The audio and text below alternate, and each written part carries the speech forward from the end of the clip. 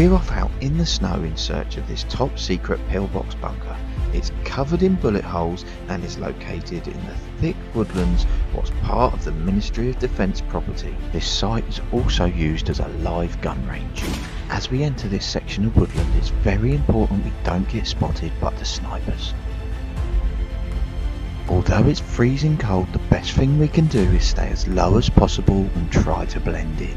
As we slowly crawled through the freezing cold reeds, all of a sudden in the distance we could hear gunfire.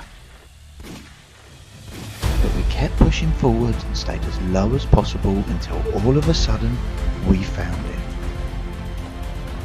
This pillbox bunker had been absolutely annihilated in bullet holes with some of them even as big as my hand.